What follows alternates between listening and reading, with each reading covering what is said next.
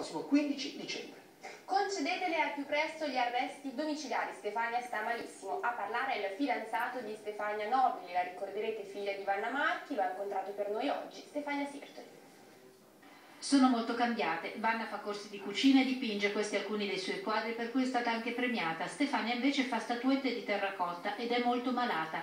A parlarci di Vanna Marchi e soprattutto della figlia Stefania Nobile in carcere a Bologna dove scontano una condanna a 9 anni e 4 mesi per l'associazione a delinquere finalizzata alla truffa e all'estorsione è Davide Lacerenza, fidanzato di Stefania da 4 anni, molto preoccupato per le condizioni di salute della compagna. La di artrite reumatoide è una malattia degenerativa adesso in questo momento lei non è più autosufficiente, la cura la mamma, non riesce neanche a alzarsi dal bagno, quindi bisogna sollevarla, deve protesizzare tutte e due le ginocchia perché ormai sono, eh, ha perso l'uso delle ginocchia e se si aspetta ancora un po' non camminerà più. Davide ci mostra una trentina di perizie dei medici dei penitenziari dove Stefania è stata detenuta che dimostrano l'incompatibilità con il regime carcerario che dovrebbero avere già fatto scattare, come invece non è ancora accaduto, gli arresti domiciliari. 700 di piastrine, emoglobina 7, con dei valori così rischia un trom che parte un trombo, la perdita della vista. Vanna Marchi è in cella con la figlia Stefania, non come qualcuno aveva scritto con Anna Maria Franzoni, è lei che l'aiuta ogni giorno nei movimenti sempre più difficoltosi.